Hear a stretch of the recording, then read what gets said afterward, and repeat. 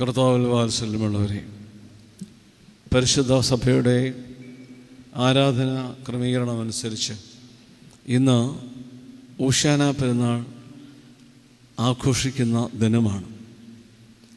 ഇവിടെ ഇരിക്കുന്ന കൊച്ചു കുഞ്ഞുങ്ങൾക്ക് വരെ അറിവുള്ള വസ്തുതയാണ് എന്താണ് ഊഷാന എന്നുള്ളത്.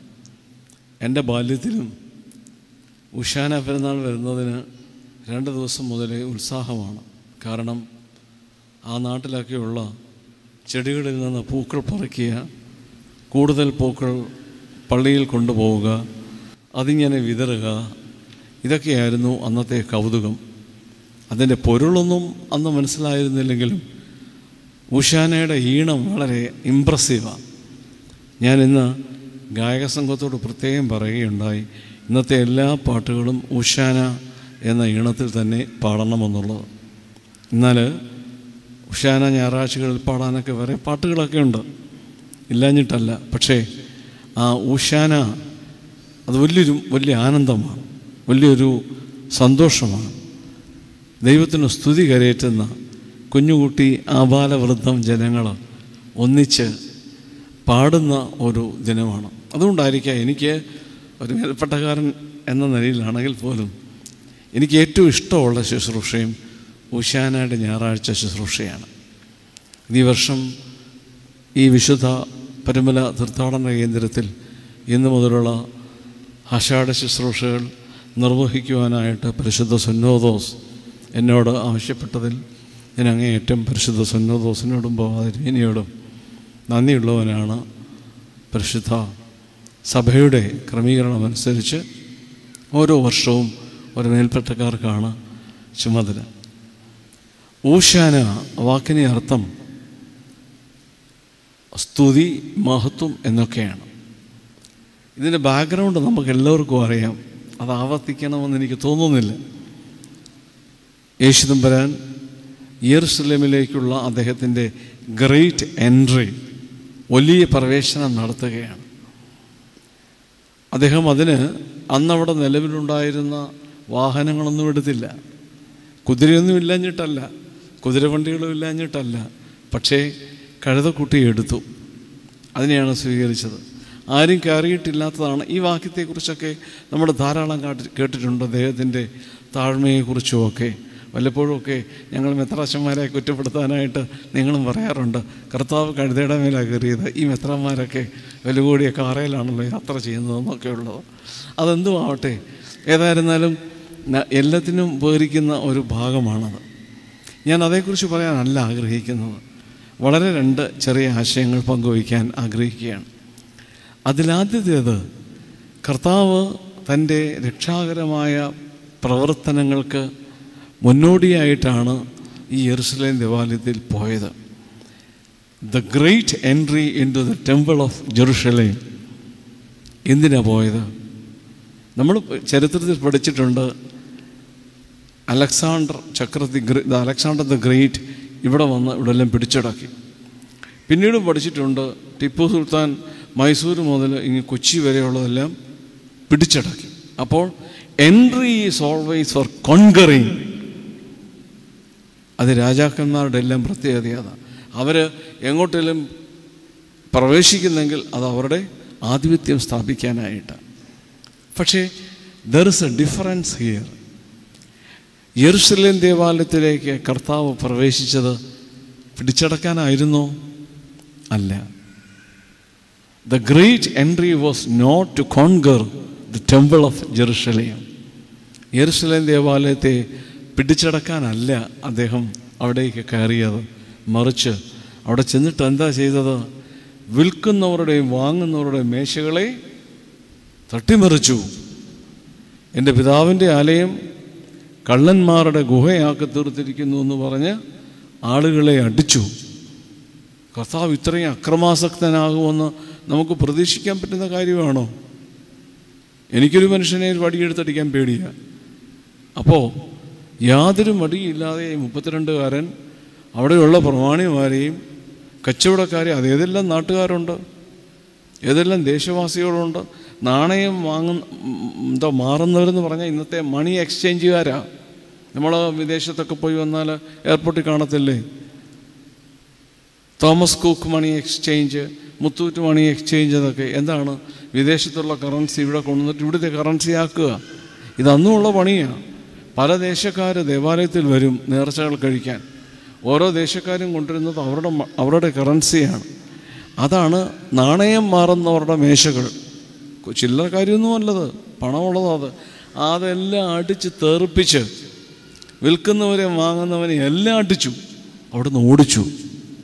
So then there is a question what is the intention of is great entry യേശു തമ്പുരാന്റെ യെറുസലേം ദേവാലയത്തിലുള്ള മഹത്തായ പ്രവേശനത്തിന്റെ ലക്ഷ്യമെന്തായിരുന്നു പിടിച്ചടക്കാനായിരുന്നു?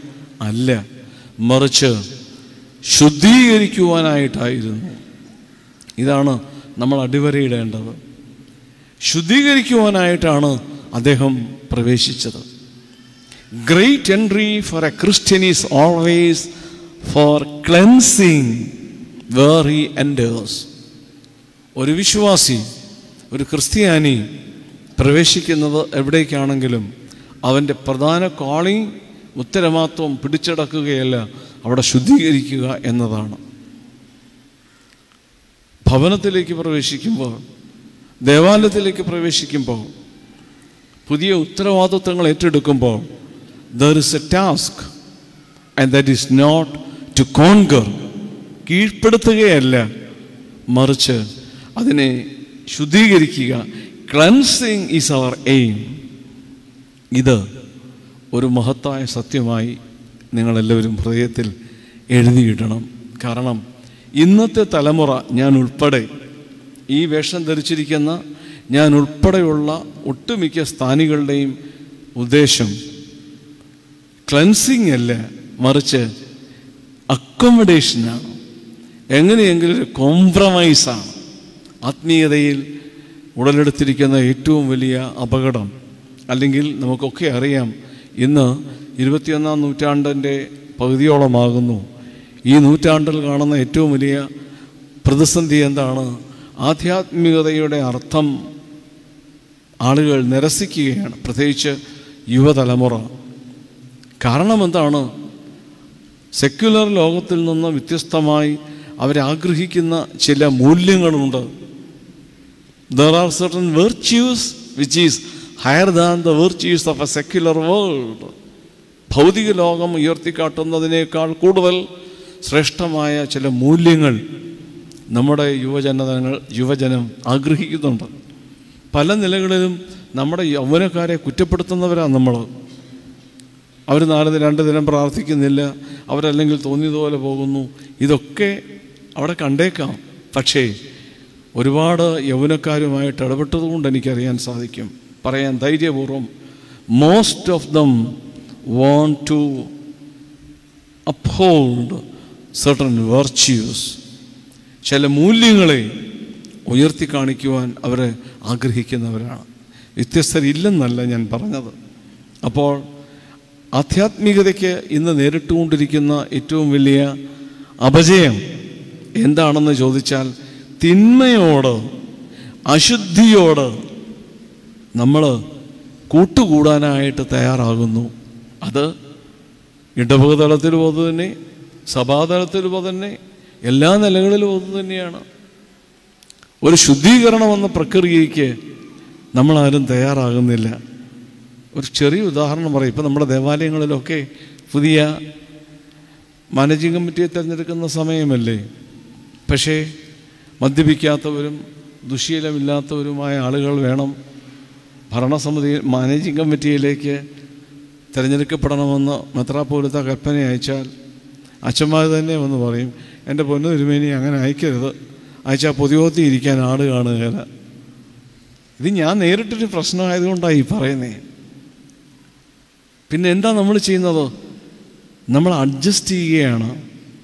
Adjusting with immorality adjusting with all evils and thereby we are losing our credentials and credibility നമ്മുടെ നമുക്കുള്ള അന്തസ്സും ഉത്തരവാദിത്വവും നമ്മുടെ വിളിയുടെ മഹത്വവും അതിനെ കോംപ്രമൈസ് ചെയ്യുകയാണ്.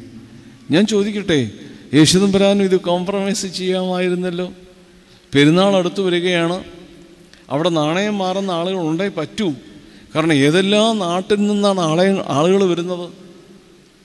അവിടെ ബലി കഴിക്കാനായിട്ട് കുഞ്ഞാടും പ്രാവും ചങ്ങാലിയും എല്ലാം വേണം. ഇതൊന്നും ഇല്ലാതെ കാര്യം നടക്കുമോ അപ്പോൾ കർത്താവിന് വേണ്ടെങ്കിൽ ഒരു ലോജിക്കൽ അനാലിസിസ് നടത്താമായിരുന്നു. എങ്ങനെ? ഈ നാണയം മാറുന്നവരുടെ മേശ കളയണ്ട. കാരണം പല ദേശത്തുനിന്ന് വരുന്നവരല്ലേ അവർക്ക് പണമൊക്കെ മാറണമല്ലോ. പ്രാവനെയും ഈ കുഞ്ഞാടുകളെയും വിൽക്കുന്നവരെ ഉപദ്രവിക്കണ്ട. കാരണം അതുണ്ടെങ്കിലല്ലേ ഇവിടെ യാഗാർപ്പിക്കാനൊക്കെ ഉള്ളൂ. ഇങ്ങനെ ഓരോന്നിനോടും അദ്ദേഹത്തിന് കോംപ്രമൈസ് സാധ്യമായിരുന്നില്ലേ? പക്ഷേ പ്രശ്നം എന്താണ് അങ്ങനെ അവൻ ഒരു കോംപ്രമൈസിന് തയ്യാറായിരുന്നുവെങ്കിൽ അത്യുന്നതങ്ങളിൽ ദൈവത്തിന്റെ മഹത്വം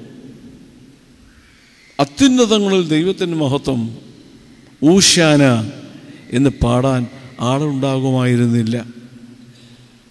അതുകൊണ്ട് നമ്മൾ ആദ്യം ഓർത്തിരിക്കേണ്ടത് വാട്ട് ഈസ് അവർ കോളിംഗ് നമ്മുടെ വിളിയുടെ ഉത്തരവാദിത്വം എന്താണ്? നമ്മുടെ വിളിയുടെ ഉത്തരവാദിത്വം നമ്മൾ എവിടേക്കാണോ പ്രവേശിക്കുന്നത്?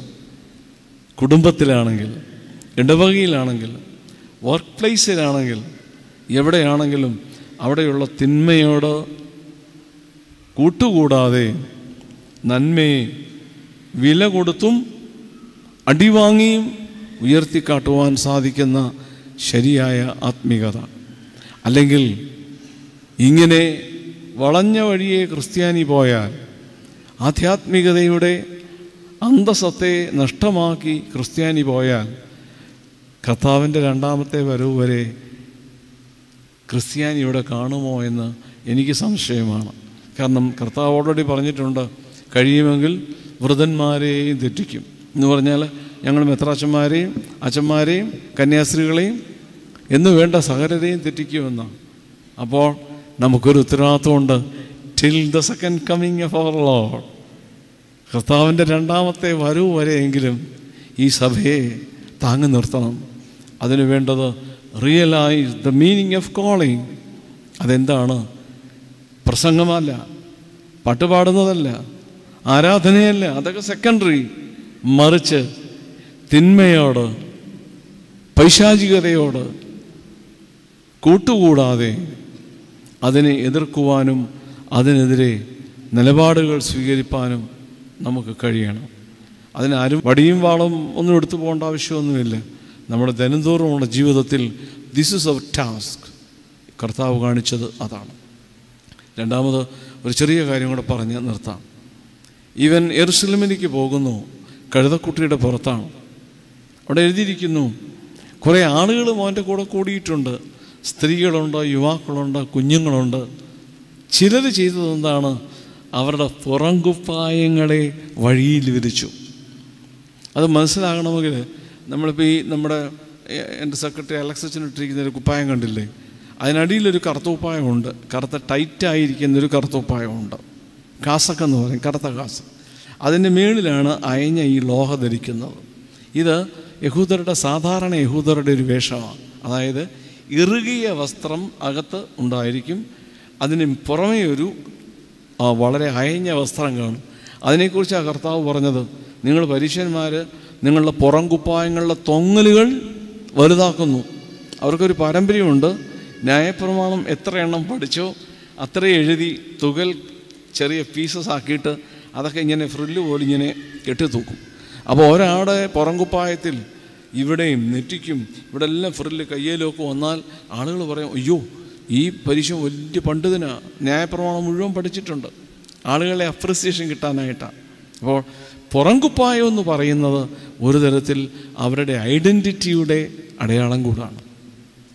അവരുടെ ഐഡന്റിറ്റിയുടെ അടയാളം കൂടാണ്. ഇവിടെ എന്താ എഴുതിയിരിക്കുന്നത്? ചിലർ തങ്ങളുടെ പുറംകുപ്പായങ്ങളെ വഴിയിൽ വിരിച്ചു. ഇതൊരു വലിയ വലിയ സംഗതിയാണ്. ഒരു യഹൂദനെ സംബന്ധിച്ച് അവന്റെ പുറംകുപ്പായം എടുത്ത് വഴിയിൽ വിരിക്കുക വല്ലോനും അത് ആർക്ക് ചവിട്ടാനാ? ഈ കഴുതയ്ക്ക്. ഈ കഴുത നടന്നു പോകുന്ന കഴുതയ്ക്ക് ചവിട്ടാനായിട്ട് പുറംകുപ്പായങ്ങളെ വിരിച്ച് അവരെ ഉപേക്ഷിക്കുകയാണ്. ഇതൊരു പ്രതീകാത്മകമായ പ്രവൃത്തിയാണ്. യേശു സ്വീകരിക്കാനായിട്ട് സന്നദ്ധമാകുമ്പോൾ നമ്മളൊക്കെ അണിഞ്ഞിരിക്കുന്ന കുറേ ആവരണങ്ങളുണ്ട്. കാപട്യത്തിന്റെ ആവ ആവരണം. ഞാൻ നല്ലവളാണെന്നുള്ളൊരു ആവരണം നിമിഷം വാ പൊളിച്ചാൽ മറ്റുള്ളവരുടെ കുറ്റവും കുറവും പറയും. എങ്കിലും നമുക്കൊരു സെൽഫ് ജസ്റ്റിഫിക്കേഷനാണ് ഉള്ളതല്ലേ ഞാൻ പറഞ്ഞുള്ളൂ. അല്ലേ? ഇതൊരു പുറങ്കുപ്പായമാണ് അതുപോലെ പുരുഷന്മാരുടെയും ഞങ്ങളും ഒക്കെ അങ്ങനെ തന്നെയാണ്. അനാവശ്യമായ ആവരണങ്ങൾ ഒരുപാട് ധരിച്ചിട്ടുണ്ട്. ഈ ആവരണങ്ങളെ ഈ പുറങ്കുപ്പായങ്ങളെ യേശു തമ്പുരാന്റെ വാഹനത്തിന്റെ ചവിട്ടുവാനുള്ള വഴിയിലേക്ക് വിരിച്ചിടുക. ചുരുക്കത്തിൽ അനാവശ്യമായി സർവശക്തൻ നമുക്ക് നൽകിയിരിക്കുന്ന തേജസ്സിന്റെ വസ്ത്രം ഗ്രിഗറി ഓഫ് നീസ പറയുന്നത് പോലെ ഗാർമെന്റ് ഓഫ് ഗ്ലോറി അതാണ് നമുക്ക് നൽകിയിട്ടുള്ളത്. നമുക്ക് നൽകിയിരിക്കുന്ന തേജസ്സിന്റെ വസ്ത്രത്തെ മൂടിക്കളയുന്ന ചില ദുഷിച്ച പ്രവണതകളും സ്വഭാവങ്ങളുമാകുന്ന പുറംകുപ്പായങ്ങൾ ധാരാളം നമുക്കുണ്ട്. അതിനെ പറിച്ചെറിയുമ്പോഴാണ് അത്യുന്നതങ്ങളിൽ ദൈവത്തിന് മഹത്വം ഊഷാന പാടുവാനായിട്ട് നമുക്ക് സാധിക്കുന്നത്. വാത്സല്യമുള്ളവരെ എന്റെ വാക്കുകളെ ചുരുക്കുന്നു. നിസാലെ ഗ്രിഗോറിയോസ് തന്നെ എഴുതിയ ഒരു പ്രശസ്തമായ പുസ്തകമുണ്ട്. ഫ്രം ഗ്ലോറി ടു ഗ്ലോറി മഹത്വത്തിൽ നിന്ന് മഹത്വത്തിലേക്ക്. അദ്ദേഹം അവിടെ പറയുന്ന ഒരു വാക്ക് ഉച്ചരിച്ചുകൊണ്ട് ഞാൻ നിർത്തുകയാണ്. എവിടെ നന്മ അവസാനിക്കുന്നുവോ അവിടെ തിന്മ ആരംഭിക്കുന്നു. എന്റെ വാക്കുകൾ ചുരുക്കുന്നു. ദൈവം എല്ലാവരെയും വാഴ്ത്തി